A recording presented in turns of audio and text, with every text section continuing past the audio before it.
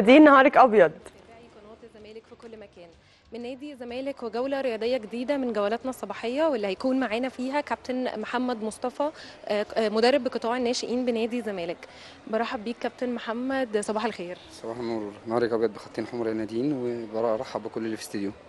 آه، في البداية طبعا مبروك الفوز لنادي الزمالك على بيراميدز امبارح. عايزة أعرف رأيك في أداء اللاعبين خلال اللقاء كان إيه؟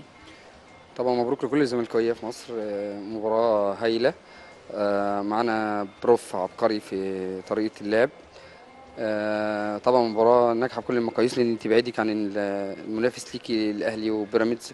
سبعة point من بيراميدز وخمسة point عن الأهلي حتى لو كسب ماتش والمتأجل. دي حاجة تخليك تلعب بارتاحية شوية وتخليكي دافع أكبر إن انت لازم تحافظي على كل الماتشات اللي جاية. طيب هل شايف يا كابتن إن التسجيل المبكر كان هو نقطة تحول اللقاء امبارح؟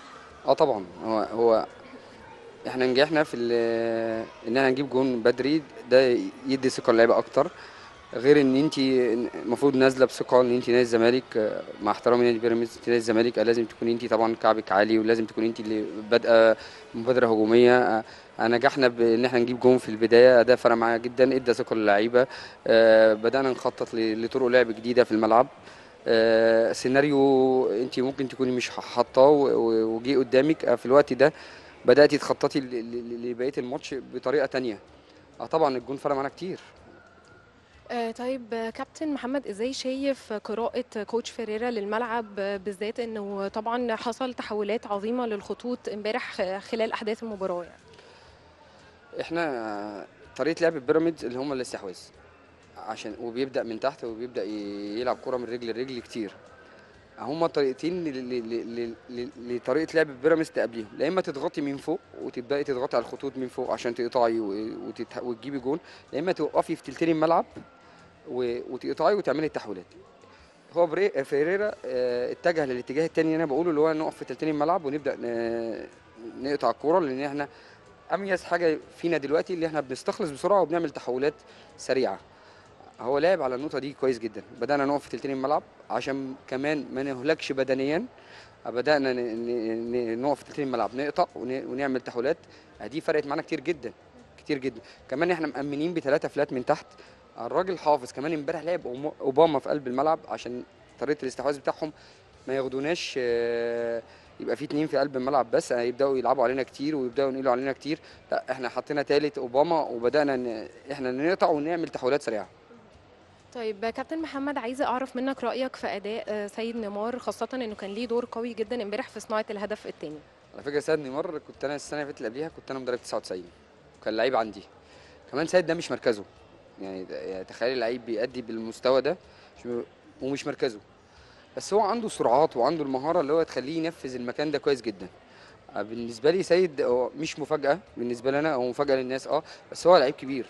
هو من زمان عنده شخصية كويسة وعنده وعنده إمكانيات ومهارية وبدنية وعنده سرعات هيعرف يأدي كتير قوي مركزي كمان زيزو مسهلها عليه.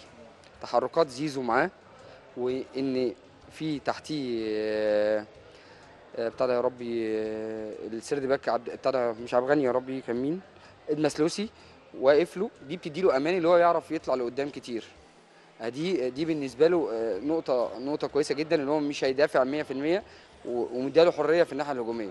آه، سيد لعيب كبير. دي دي حاجة يعني آه، مش عارف أنا من زمان إن أنا مرنته وعارفه. هو لعيب كويس جدا. طيب آه، كابتن محمد شايف آه، إزاي يتعامل coach فيريرا في تلاحم المباريات وطبعا الضغط البدني على اللعيبة؟ المشكلة في الماتش الجاي اللي إحنا مسافرين. مسافة كبيرة الجونة وكده والفرق بين الماتش والماتش ثلاث أيام. بس متهيألي إن واحد بشخصية فريرا وبعقلية فريرا هيعرف يتعامل طبعا في الاستشفاء كويس مع اللعيبة. هو بيتعامل نفسيا كويس جدا. العوامل النفسية والاستشفاء والحاجات دي هتفرق كتير مع لعيبتنا وإن شاء الله إن شاء الله يعني مش مش هتبقى عقبة لينا يعني إن شاء الله. آه طيب عايزاك توجه رسالة للعيبة خاصة إن إحنا خلاص على بعد خطوات يعني قليلة جدا من لقب الدوري. اللي إحنا مش آه، الدوري ما خلصش. الماتشات اللي جاية أصعب من فيوتشر وأصعب من الأهلي وأصعب من بيراميدز وأصعب من الحاجات دي كلها. لسه عندنا مصري وعندنا اتحاد وعندنا جونة وعندنا ماتشات صعبة. لازم نبدأ آه، كل ماتش بناخده لوحده. بنبدأ آه، نشتغل إن إحنا ده ماتش البطولة ماتش كاس. كل ماتش بالنسبة لنا كاس لغاية لما تكسب كل ماتشاتك وتضمن إن أنت خدت الدوري. في الوقت ده تبدأ أنت تفرح وتتبسط وتعمل كل اللي عايزه. افرح واعمل في, في التوقيت نفسه في في ال- الفرحة وقتها.